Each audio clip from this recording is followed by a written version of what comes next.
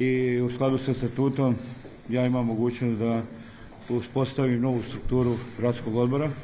Danas sam za predsjednika za predsjednika gradskog odbora imenovao gospodina Vladu Žajića, čija, će dužnost biti da rekonstruiše gradsku organizaciju i obezbedi neku, njeno novo akcijno organizacijno i političko jedinstvo i raspušten je gradski odbor Banja Luka i formiran je novi privremeni odbor koji će na čelu sa gospodinom Đajićem imati obavezu da pripremi nove izbore u gradskoj organizaciji i ove ciljeve koje sam već naveo e, kao dominantne u pogledu osposobljavanja organizacije provede zajedno sa tom novom strukturom.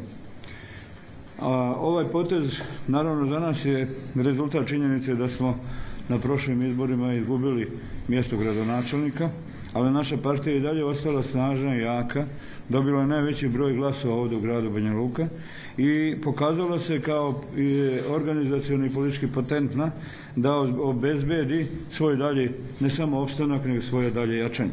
vjerujem da će izbor gospodina Đajića kao uglednog e, ne samo ljekara, nego i privrednika, čovjek koji vodi klinički centar, koji zajedno sa svojim ekipom se pokazao kao čovjek, odlučujući čovjek, jedan od odlučujućih ljudi zajedno sa ministrom ministrom eh, Šeranićem i svima nama koji su na tome radu, a pogotovo zdravstvenim radnicima koji on uspio da animira u kliničkom centru odlučujući doprinos dali u borbi protiv koronavirusa. Čovjek koji je bio na usluzi svim ljudima, koji nikada nije pobjegao od kontakta i potrebe da pomogne bilo kome u ovom gradu i Republici Srpskoj i šire što kažu i čovjek koji je svojim, e, svojim djelovanjem pokazao da istinski pripada SNSD-u, neminovno se nametnuo kao čovjek mog prvog izbora što se tiče novog predsjednika gradskog odbora. U gradski novi odbor će ovaj sada ući svi odbornici, naši odbornici koji se iz Banja Luke, svi poslanici, ministri, svi oni koji su na zajedničkom nivou, isto tako poslanici, će značajan broj odgovornih ljudi na važnim javnim funkcijama, ali isto tako značajan broj e, oni koji su radili, terenski se borili za organizaciju e, u proteklom periodu.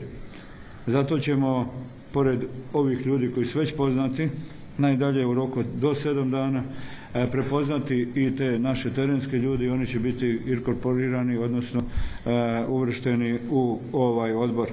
Dakle, ovaj, već smo poduzeli mjere da novi gradski odbor radi u novim prostorijama, bit ćete pozvani tamo, sada ih uređujemo i epicentar naše političke borbe u ovom gradu, a, pa i u Republici Srpskoj bit će svakako politička aktivnost ovdje u Banja Luci gdje želimo da rehabilitujemo našu političku snagu i naša, naša je namjera da u ovom gradu i na nivou Republike na sljedećim izborima dobijemo 40% podrške. Vjerujemo da to možemo. Mi smo imali rast od 6% na lokalnim izborima ukupno u Republici Srpskoj i nastavit ćemo da prikupljamo našu političku podršku našim ciljevima, a naravno i ljudima koji su veoma eminentni u pogledu onoga što rade i što djeluju u samom gradu i na prostoru Republike Srpske. Gospodinu Đajiću želim uspjeh. A za njegovo djelovanje gdje god se pojavio je vezan uspjeh. Vjerujem da će to biti i ovdje. Moja podrška kao povjerenika za gradski odbor bit će nesumnjiva. Zajedno s njim bavit ću se makroorganizacijom partije i biti spreman da dam podršku svim inicijativama i idejama koje dolaze iz naše strukture u ovom gradu. Mi smo pripremili jedan novi paket aktivnosti ovdje. Oni će imati tri segmenta borbe za rehabilitaciju naše političke snage, za Banja Luku kao još ljepši grad, u pogledu realizacije projekata koji ćemo činiti i raditi na prostoru ovog grada. Mi želimo da ljudi ovog grada osjete našu privrženost gradu i načinu života koji imamo ovdje. Nećemo klijevati da na bilo kom projektu za koji mi smatramo da doprinosi boljitku života u ovom gradu, rješavanju nagomilanih eventualno problema e, kojim smo se pokazali sposobni da to rješavamo, da pomognemo i da to uradimo.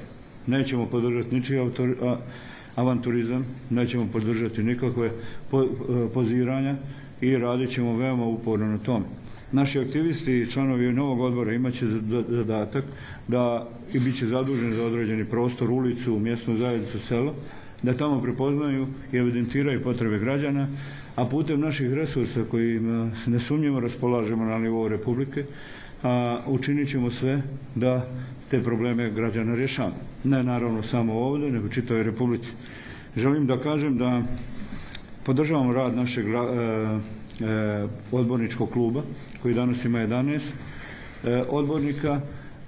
mislim da oni rade odgovoran posao, da čuvaju dignitet lokalne zajednice, da rade u skladu sa statutom i zakonima i taj aktivizam bit će pojačan našim prisustvom po svim drugim pitanjima.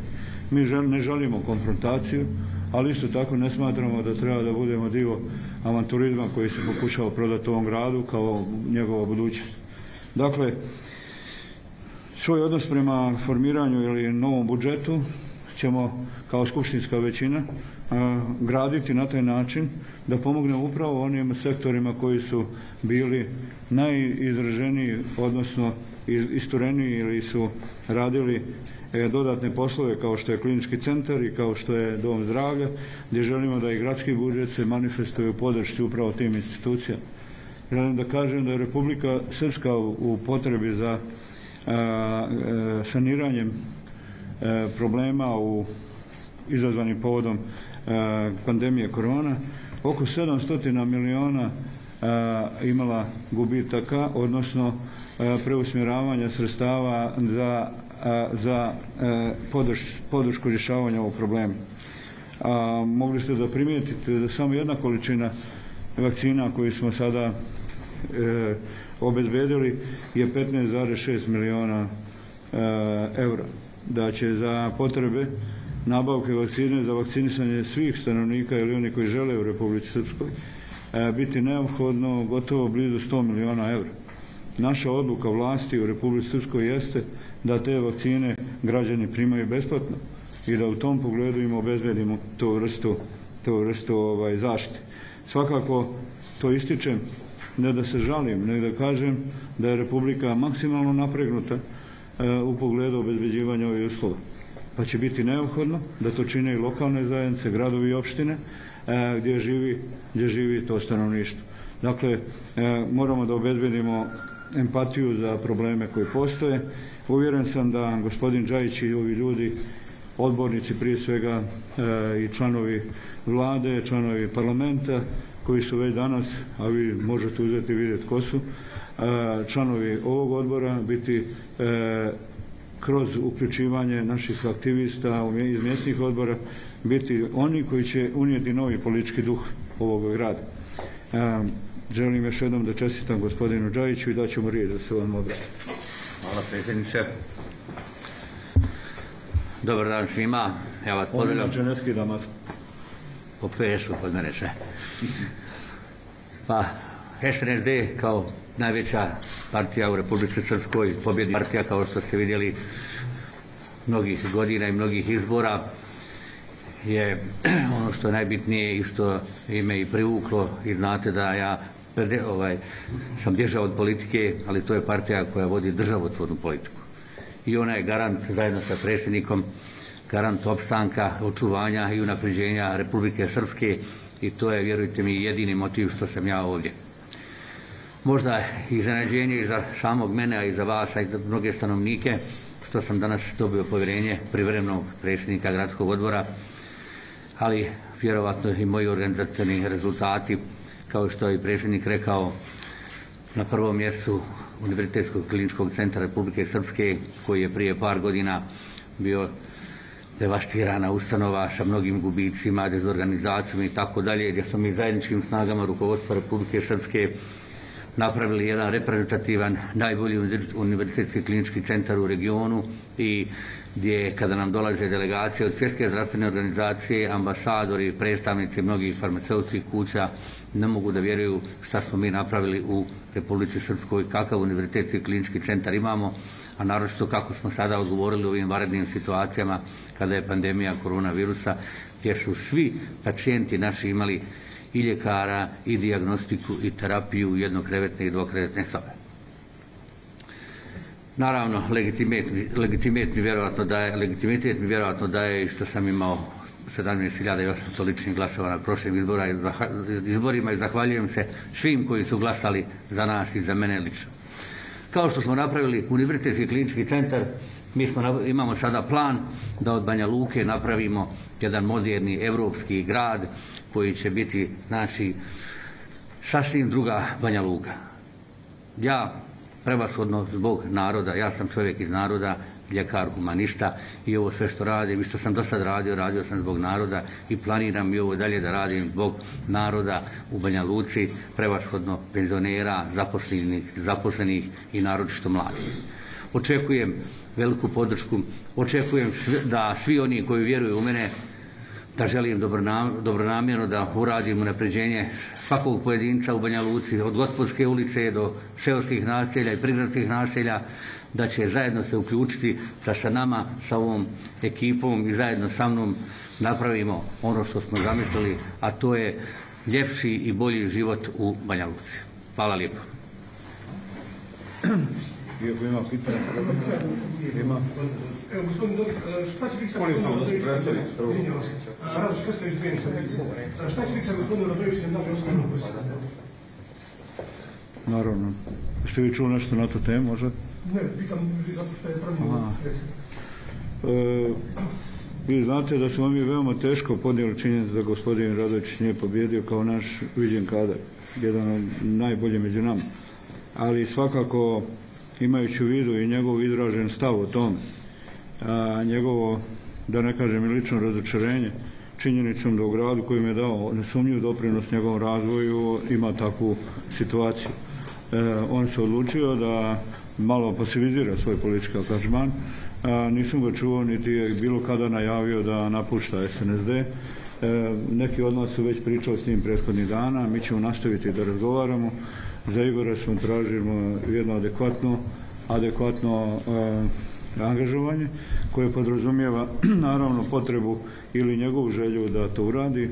Još uvijek e, njegov, njegov ovaj, opredeljenje jeste to da se što manje pojavljuje javnosti, on ima, ima razlog i ja ga razumijem za svoj lični odnos prema ovom pitanju i da u tom pogledu ovaj, gospodin e, Radovićić ostaje predsjednik ove partije, ostaje član ove partije, ništa se tu ne dešava. Ranije smo ovo najavljivali, kao što znate, ovo je dio kontinuiteta i upravo zbog toga odnosa i prema samom Igoru i prema ljudima koji su do sada radili i bili dio naše strukture, evo mi tek sada poduzimamo ove mjere. Dio razloga to se moglo desiti ranije je bilo naravno i situacija u kojoj je mene zadesilo vezano za koronu, pa nisam bio angažovan gotovo dva mjeseca. Sada idemo dalje. Niko ne treba da sumnja u snagu SNSD-a. Ovog trenutka, ovog dana, ovog trenutka sve animozitete u okviru SNSD odbacujemo i gradimo i popunjavamo neku našu novu listu našeg odnosa, dobre suradnje, međusobne podrške i naravno velike pobjede koje očekujemo. Dakle, ja sam potpuni optimista što se tiče našeg prisuta ovdje. Samo čovjek koji nema pameti ne bi to bio, jer SNSD je veliki pobjednik i prethodnih izbora. Mi imamo istorijski broj, to je 43 opštine, odnosno 41 zbog ove priče oko Srebrenice i i doboje, ali u svakom slučaju mi vjerujemo u pobjedu ponovo tamo i nema nijednog razloga da sumnjamo u to. E, naše pobjede i naše skupštinske većine su većini gradova gdje nismo dobili e, načelnika kao što je u Bijeljini ovdje u Banja Luci. I mi ćemo nastaviti da dajemo nesumnje pečet. Svidjelo se to i kome ne, mi smo vodeća i odlučujuća politička struktura. Zajedno sa našim koalicijnim partnerima da ćemo pečati razvoj Republike razvoju opština i definisanju i artikulisanju politika na nivou Bosne i Hercegovine gdje su se pokazali veoma uspješni.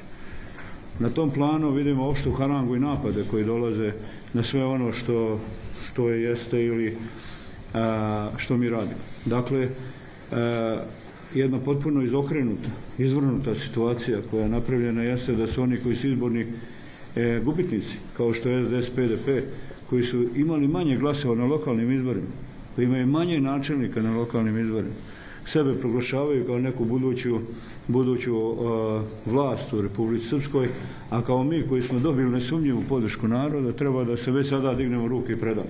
To je samo tri mjeseca nakon izbora koji su se pokazali kakav je odnos naroda prema njima. Gospodin Šarović je na mjesto gdje glasa izgubio treći.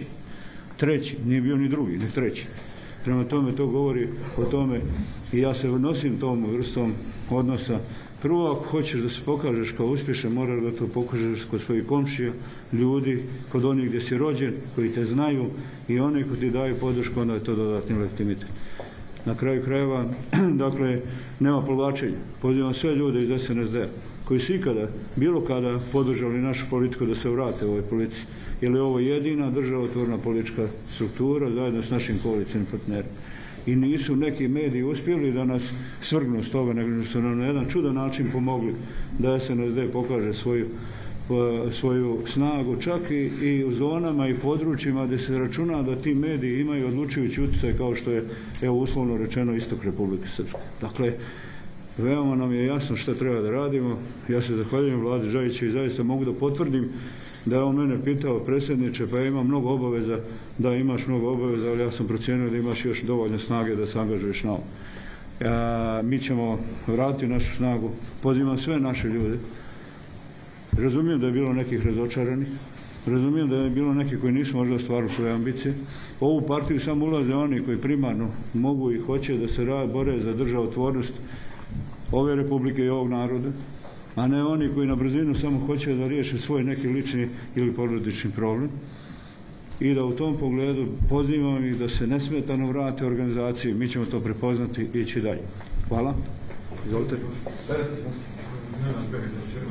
Prvo pitanje da li će biti reorganizacija u nekim drugim općinskim organizacijama ili gradskim. Da li to što može smatrati već u nekoj funkciji priprema za opšte izbore? Pa naravno. I za doktora Đeši, izvino se, pitanje kad ste te uzeli odmah koji su ovo naredni koraci? Ajde, ti prvi. Koji ti je naredni korak? Naravno, mi ćemo prvo uraditi analizu prošlih rezultata, uradit ćemo strukturu i akte partije, gradskog odbora i preduzeti korake reorganizacije, vraćanja starog članstva i naravno ono što je za nas bitno da mi pravimo jedan pokret za Republiku Srpsku, okupljanje za Banja Luku kao što je naš slogan bio i dobro su došli ne samo stari članovi već i svi svi građani, mi nismo više za podjele, mi smo za mirenje i da svi građani, možda i ako su pripadali drugim partijama, a vide i osjećaju i što jest i činjenica da smo mi nosioci opstanka i očuvanja Republike Srpske da nam se priduše. Dakle, da, naravno, sve što činimo, činimo zbog budući naših pobjeda. Mi smo partija koja nikada nije prestala da vodi kampanju i to ne čini samo predizborno vrijeme i kao što ste mogli vjerojatno upoznati da je došlo do i da je u Bijeljini imenovan novi privremeni odbor koji ima za cilj gotovo identičan pitanja kao i ova ovdje. I on će, on je već upravlja skupštinskom većinom dakle u samom gradu Bijeljine koje se pokazuje veoma efikasno.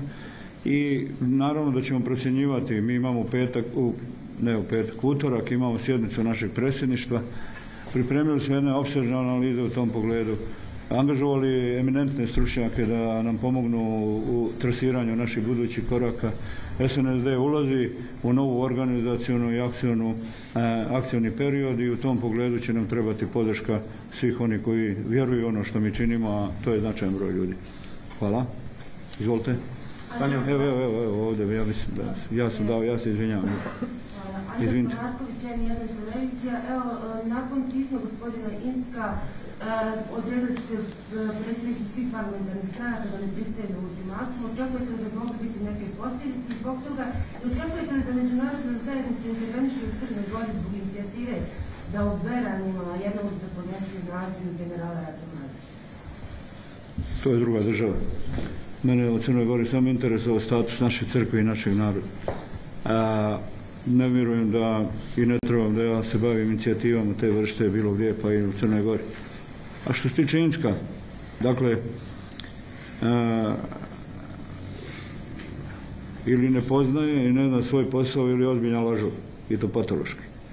zato što tvrdi da on je taj koji je nadležan za Dejtonski sporazum. Dakle, to nije tako. On je nadležan za aneks 10 Dejtonskog sporazuma, civilno provođenje Dejtonskog sporazuma. On nije nadležan za vojni dio sporazuma. On nije nadležan za Ustav Bosne i Hercegovine. Čak i onaj pedijaš da on, da ne kažem prefiks koji veoma volim, nije se upuštao da on tumači Ustav i mnogo čega druga Ainsko kaže ja sam tumač Dejtonskog sporazuma. Dakle, ili ne zna što mu mogu oprostiti. Ili je patološki lažo koji hoće da nametne jednu sasvim novu priču. I to je naš problem s njim. Dakle, on tačno piše u aneksu 10 da je on tumač, tumač ovog ovog, ovoga ugovora aneksa Dejtonskog sporazuma. Tumač ovoga. Kao što sa, za vojni dio, aneks 2 ili 2, koji se bavi vojnim pitanjima, kaže komandant Kvore, Ifora, kako se to tada zvalo, kaže je konačni tumač ovoga sporazuma, aneks. Prema tome, on, on pokušava ovdje da izvan svojih ovlaštenja djeluje i on je čovjek on je čovjek koji očigledno pokušava da se dodvori ovim muslimanima tamo u Sarajevo i pokušava da se kroz obračun sa nama e, sa nama pokušava da tamo dobije simpatije. Dakle, uzmite samo dvije stvari. Kada čujete njih kako se pozivaju na europska pitanja oko te navodnog zakona koji on želi nametno genocid, ja ga pozivam nek se pozove na američki ustav. Što nikada nije rekao u skladu sa američkom praksom te vrste. Amandman jedan kaže čovjek nikad ne može biti osuđen i optužen za lično mišljenje. Nikada se nije pozvao na američku praksu. Znači on ovdje selektivno radi, kad mu odgovara ovo, kad mu odgovara ono i tako dalje. Druga stvar, svagdje u demokratskim sistemima, svagdje u demokratskim sistemima, onaj koji je osuđen i odležao zakonsku predviđenu ili sudski određenu kaznu, nakon toga se smatra slobodnim građanom sa svim građanskim pravima. Sa svim građanskim pravima. Jer vam moram ja govoriti da na koji način je i Biljana Plavšić i pokojni Momo Krajišnik jesu odležali sve kazne. Zašto se nama ovdje e, govori da je to drugčija praksa? Da ne pričamo o tome što mi ne vjerujemo presudama upravo političara u Haškom tribunalu koji su bili motivisani na način kako su motivisani da se čitava kolektivna odgovornost prebaci na jedan narod. Pa i sam Minsko koji govori da smo mi kolektivno odgovorni za nešto. To je nešto sasvim drugo. I nikada, a nikada, koji god Srbin ga sretne bilo gdje i kad bude penzioner treba da okrene glavu od njega. Zato što je rekao da je Republika Srpska njega asocira na NDH. To nije tačno, to mi ne možemo da prihvatimo nikako. I zato mi već i ja, već godinama ne želim da ga vidim i da sretnem. Evo nek mi nametne sastanak da vidim kako će to izgledati. Dakle, šta, šta, koje mjere? Pa to je poduzeto zbog mjera. A evo da vidim. To će samo dodatno homogenizovati naš parlament i, i, vjerujem pokazati ovom narodu da su lažne priče o tome kako nema pritisaka. On je, on je stalno prikriven i samo u ovim trenucima ovako nervoze kao što je Insko, ovaj koji treba da pokaže sada, on ima 24.000 eura. Ja hoću da to kaže. I ne pristajem, taman to bio hiljaditi dio promila, da se to knjiži kao pomoć meni. Jer kaže, sva sredstva koja idu preko OHR-a je pomoć Bosni i Hercegovini. Kako je Bosni i Hercegovini? Inska. Čitav jedan narod, odnosno dva naroda u Bosni i Hercegovini ne prihvada Inska. Dakle, sve je nakarodno. Nakaradno je način izbora visokog predstavnika i ovaj narod mora to da zna. U aneksu 10 piše, piše, isključivo piše, član kaže novog visokog predstavnika na prijedlog strana potpisnica aneksa 10, a strana je Republika Srpska, potvrđuje relevantnim dokumentom Savjet bezbednosti. Samo jedan do sada je tako izabran, to je Bilt. Svi drugi su lažno izabrani. Nemaju pravni osnov. Nigdje ne piše da savjet, e, vijeće za implementaciju mira predlaže visoko predstavnik. Nigdje ne piše, jer nema savjeta za implementaciju, odnosno vijeća za implementaciju mira. To su sve blefiranja koja su trajala 20 godina. Da je prava Insko je bespravno postavljeno ovdje i nametnut kao sileđija koji pokušava sada da, da se dira, da, da dira ono što je nadležnost najviših zakonodavnih institucija. Poziva na jedinstvo ko odbacimo insku politiku koja je ista onog od onog Kalaja i njegovih e, e, prethodnika. i njegovi, njegovi su ovdje dolaze po različitim osnovama dugo na ovaj prostor. Od prvog svjetskog rata, od aneksije Bosne i Hercegovine. Srbima ništa nije bilo bolje nego pod Turcima, čak što više gore, kada je ovdje došla Austro-Ugarska. I nije slučajno što on stalno insistiraju da bude evo, dva, dva viska predstavnika iz Austrije i sad ako nametnu ovoga novoga i bilo bi dva iz Njemačke. Nije to slučajno, ja imam pravo da tako govorim. Pustite vi to, kao on će nama reći, kao pa nije to tako, pa, ali po ciljevima jeste tako. Jeste tako, po ciljevima jeste tako. I dio ovoga urušavanja naše snage jeste to njegovo ponašanje. Izvolite. Odgovorit ću na sva pitanja ako smenu upući. Sanja Mladović, televizija Republike Srpske. Pomenuli ste malo kroz Doboj i Srebrenicu, za 15 dana tamo će biti ponovljeni izbori. U Srebrenici su jasno očekivanje svih srpskih stranaka, pobjeda Vladana Dujičića. Šta je sa Dobojem? Od, opozicija samo očekuje bolji rezultat, SDS očekuje da će imati otpornike. Kako su vaše Ja vas molim da uzmete njihove intervjue prije prethodnih izbora pa ćete vidjeti da ste najavljivali veliku pobjedu. Logično je da partije koje učestvuju sada žele pobjedu.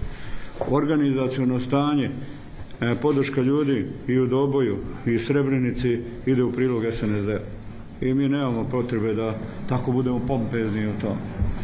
I naravno da ćemo pobijeti, naravno da ćemo dobiti i gradonačelnika Borisa u, u a, Doboj, jednako tako i naravno gospodina Grujičića. Ali ovo nikada neće prestati da se postavlja pitanje kako su Srbi koji se nalaze u Centralnoj izbornoj komisiji mogli da glasaju za poništenje izbora u, u, ovaj, Srebrenici. I mi savršeno dobro znamo zbog priča, kulovara i naravno ništa se ne može sakriti, pogotovo u ovoj zemlji, pogotovo u Sarajevu, da su bošnjaci tražili od predstavnika SDS-a i PDP-a da se ponište izbori u Srebrenici, a on su rekli da hoćemo, ali da poništite i u Doboj i onda je došao do toga. U Srebrenici, u zakonskom predviđenom roku, nije bilo ni jedne žalbe na izborni proces tog dana i izbornog dana. I došli su u situaciju da su izmislili medijske natpise samo da bi došlo do nekog odlučivanja.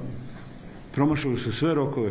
Ovo, ovo smiješno slučaj kad, dođe ambasador Evropske unije ili ambasador zapadnih zemalja koji nama kažu vladovina prava.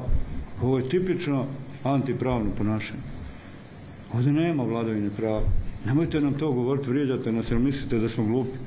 Dakle, sam izbor Centralne izborne komisije je bio mimo zakona i njihovo ponašanje u pogledu prolongiranja izbora bilo mimo zakona. Zakon ne ostavlja mogućnost da se više od 30 dana prolongira izbora, on se prolongirao 45 dana ili više, ne znam koliko. Zakon ne dozvoljava da ne odlučite o nekom predmetu žalbe ili postupku izbora duže od, ne znam, nija sedam dana. Koliko je ovo trajalo? Ovdje se proizvode slučaj samo u Republike. Usput, najviše tri put, najviše tri put je bilo više prigovora na izbore u Mostaru u zvaničnom terminu koji je dat i nego za Doboj i Srebrenicu zajedno. I naravno, Mostar se naravno legitimiše. Što nama ostavlja pravo na sumnju da je to bilo tendencijozno politički motivisano. Ali idemo na izbore. Bez obzira što mi ne poštujemo i ne smatramo da je to zakonitko predviđeno, mi smo primorani da izađemo na ove izbore i mi ćemo izaći na ove izbore. Naše dalje ponašanje u izbornom procesu zavisit će od dijaloga vezano za izborni zakon i za nove izborne uslove u Bosni i Hercegovini. Hvala. Milović, govorili ste o visokom predstavniku. Što očekujete Šmita on zamjeni Valentina Inska? Negdje su se pojavile informacije da bi on mogao raditi na jačanju BiH, a To ništa nije novo. To ništa nije novo. E, određena tijela Europske unije i podaci i dokumenta koje smo mi došli govore o tome da treba da se u narodnom periodu jača državna struktura i državni nivo vlasti. To, to što on govore 20 godina. Njima su problem samo mi koji smatramo da treba da očuvamo našu autonomiju. A on hoće da mi ukinemo našu autonomiju Republike Srpske i da budemo jedini u svijetu koji su sami ukinuli svoju autonomiju. Pa to nigdje nema. Dakle, mi nećemo centralizovanu zemlju. Nećemo podržati centralizovanu zemlju. Možete da upotrebite sile koliko hoćete i da uvučete neke organe. Ovo je, potpuno ustavno beznađe, odnosno bez prava. Ustav ne predviđa mnoge institucije na nivou Bosne i Hercegovine, oni tamo funkcionišu. U njihovoj namjeri da kažu doće jednom generacija političara u Republike koji će reći ajde da priznamo to i bezbednost i sud i financije i tako dalje. Ova generacija to neće uraditi. Ova generacija to neće uraditi. Što se tiče visokog predstavnika, on je nepotreban ovdje. On je nepotreban ovdje u Republike Srpskoj i neće imati podršku u Republike Srpskoj. Ja ne govorim o čovjeku, ja govorim o visokom predstavniku. On je zlotvor koji je u komunikaciji, u kontinuitetu, kad postoji ta funkcija, osim prvoga, činio sve na štetu Republike Srpske. I blefiraju, kako sami kažu. Uzmite dokumente oko održavanja Bonske, takozvane Bonske konferencije, koja je rekla, kako već pričamo o visokom predstavniku. To je konferencija Savjeta vijeća za implementaciju mira, koji ne postoji u Daytonu, koje Bosna i Hercegovina nijednom nikada nije priznala. Znači, da, je bar parlament ili predsjedništvo rekao, priznajemo rad savjeta, hvala vam, dobronamjernosti i tako da. Ne, nikada to nije bilo. Oni samo organizovano održavaju sjednicu savjeta u, u, u Dvonu i donose i kažu dajemo podršku naporima visokog predstavnika. Oni to lažno pretvaraju u priču o bonskim ovlaštenjima. Nigdje njihov dokument ne piše dodatna ovlaštenja ili bonska ovlaštenja. Oni su to samo uzeli radni naziv i pretvorili u pravni, kako on misle da to uradi. A upitan toga dana, istog dana, na sjednici kad se završila bonska konferencija Savjeta za implementaciju mira, tadašnji visoki predstavnik kaže, citiram, kaže, ovo nije u skladu s Dejtonskim sporazumom. A onda se, evo, i Insko i svi visoki predstavnici pozivaju, mi smo tumači. A šta je ovo? Šta je rečenica gospodina Westerdorfko koji kaže, ovo nije u skladu sa Dejtonskim sporazumom. Ovo nije u skladu s Dejtonskim sporazumom. A oni žive već ovdje koliko, 20 i nešto godina. 24 godine kroz lažnu priču, podvalu, blef o bonskim ovlaštenjima. O bonskim, kako ne postoje bonska ovlaštenja? A vođa misije ili u ime Britanije učestvovao, sad ne mogu da citiram tačno ime te žene, ali ima tačno, se zna na koji način je i šta je rekla. Zajedno sa bivšim, odnosno tadašnjim ambasadorom Crawfordom, je li tako, koji je rekao, koji su rekli, ovo je obično međunarodno blefiranje. Na ovo međunarodni faktor nema pravo. Bonska ovlaštenja. Bonska ovlaštenja ne postoji. I onda, naravno, Postoje oni kojima to odgovara, oni to drže u javnom, javnom e, prostoru i pokušavaju da održe priču kako on ima bon, nema bonska ovlaštenja. On ima samo ovlaštenja dobijena aneksom 10.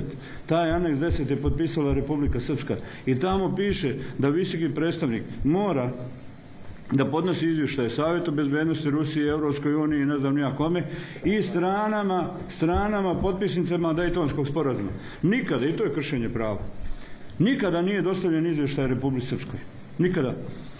I sad kad smo mi počeli da tražimo, on onda se poče, da se ovako na, neki način ponaša. Naravno da ćemo mi pokazati jedinstvo, zahvaljujem se svim partijama i vlasti opozicije koja budu, koja budu u, većini za podršku odbijanja. Ali isto tako i odbijanje njegovih mjera. Prvo, pošto se radi o Republike Srpskoj, samo da mu kažem, nikada neće biti objavljeno u službenom glasniku Republike Srpske bilo kakve mjere koje donosi za Republiku Srpsku. A one koji objavi u tom nekom listu BiH danas neće važiti. Pa da vidimo, jel mora, ako je vezano za organe, Republike Srpske mora isključivo da bude objavljene u Republike Srpskoj. A ne na nekom drugom mjestu mogu da objavi u Britaniji. Ili u svojoj Austriji gdje vidim neki ga podržavaju. Ajde ovo što. Radio Republike Srpski nakon Đurić Vesti djelomično je govorili. E, kažete, molim vas, šta ako bude izabran taj Kristijan Schmidt e, Njemac i nastavi sve ono što su radili Pa molim vas da, evo, ako bude izabran, jer to je pravno nasilje, ponovo pravno nasilje. Republika Srpska u skladu sa aneksom 10 nije pitana, prema tome nepravnan prijedlog je to, nije legitiman i to ćemo reći gospodin, rećemo da je nepoželjan i rećemo da nećemo da sarađuju s njim. Ako dođe pa kaže, e, treba vratiti Republike vojsku, treba vratiti indirektne poreze, treba vratiti sudstvo, hoćemo razgovarati. Jer je to jedina dejtonska stvar. Sve drugo izvan toga nećemo razgovarati. Može da dođe koga hoće. Prema tome, u tom pogledu, apsolutno jasno mu šaljem poruku, bez obzira što će on pokušati ovdje da ponovno... Znate u čemu je ovdje problem? Uvijek dolaze novi ljudi sa istim početkom od prije 30 godina. Kao da se ništa ne dešava. On dolazi instruisan i šta treba da uradi. Nakon dvije godine shvate, kao što je to shvatio Miroslav Lajčak i koji je rekao, ja ne da jašem mrtvog konja, misleći da je Bosna i Hercegovina mrtav konj. Ali on to shvate nakon tri godine. I mi se iznova stalno borimo s istim pristupom, a novim ljudima koji hoće da je naprave karijeru ovdje s nama, koji hoće da budu kao uspješni. Ja sam doživljavao da meni jedan, evo i Željka je bila tu, kaže, kako ti ne shvataš da je moja karijera u pitanju? Ako ne da, dozvolim, šta je bilo, reforma u policiji? Sejdić Finci. Kaže, kako ti ne shvataš da mene ruši? Šta me briga za tebe, čovjek? Ili kaže, in, e, nacionalni interes mog naroda je to i to. Kažem ja, to nije ni nacionalni interes mog naroda. A on kaže meni, kaže, taj jedan, kaže, mene to ne zanima. A ja kažem, ne zanima ni mene interes tvog naroda, ni ti. A onda, onda je Milorad Dodik loš momak, onda se nađe ovi iz Bejana koji napadnu, kaže, eto, jest loš momak i to. Svi su ti. Ma mislim, ovo ovako simpatičan, pa zato. Hvala. Pitanje za gospodine teme. Vi ste danas preuzeli važnu funkciju, jednu već imate na UKC-u. Kako ćete se organizati? Pa, dobro pitanje. Ja se to pitam, ali ovaj, kao što je malo prije predsjednik rekao, još uvijek imam dobru energiju i a, ovaj, mislim da borbenost i mislim da prevashodno naš prioritet jeste univerzitetski klinički centar, prioritet jesu bolesni i to ćemo, ali imam dobar tim i vjerovatno ćemo znači nastaviti isto tako, pa ništa pacijentima neće nedostajati. Što se tiče gradskog odbora, mi već imamo i sada tim, evo možete pogledati, već je formiran tim koji ćemo pojačati i tako da mislim da neće ovaj, i gradski odbor i klinički centar će dobro funkcionirati. Hvala. Hvala vam puno.